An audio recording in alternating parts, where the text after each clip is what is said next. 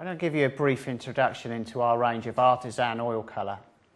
Artisan is a water mixable oil colour. That is to say that it can be thinned with water and you can also wash all your brushes and equipment up with soap and water after you finish using them.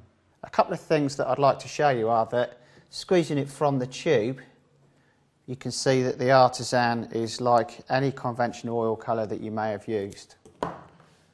Just to show you this against our Artis oil colour, which this is the phthalo green blue shade in Artisan. This is our, our Winsor green in our Artis oil colour, which actually uses the same pigment. You can't really notice the difference. That's because Artisan is made out of pigment Here's an example of uh, cadmium yellow pigment. And a linseed oil, which has actually been modified so that it mixes with water.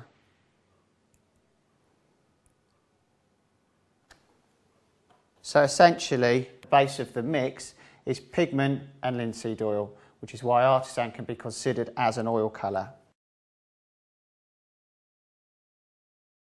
So to see how this has affected the oil paint, if I now try and thin the Artis oil colour with water, you can see it's difficult and it doesn't mix at all.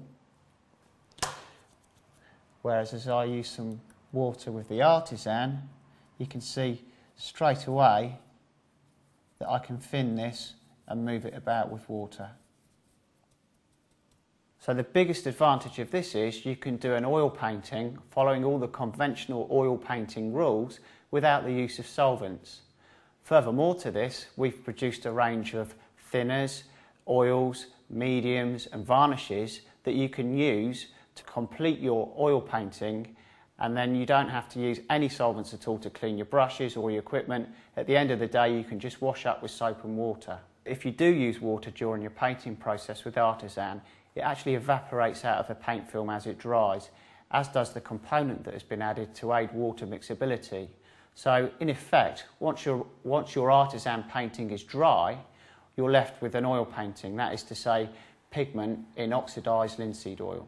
Although you can use water during your painting process with artisan, you'll get a much better experience, a much better performance if you use the artisan thinner. You can see another video about this on our website.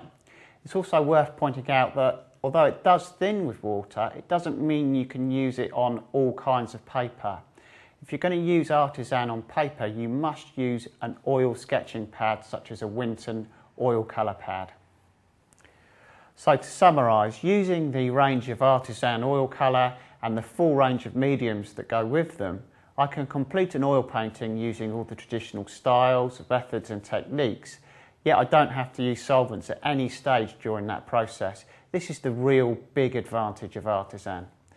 It's really good if you say have an allergy to solvents, if you're working in a shared studio, or if you're working in a confined space. You don't have to put up with any of those issues that solvents create.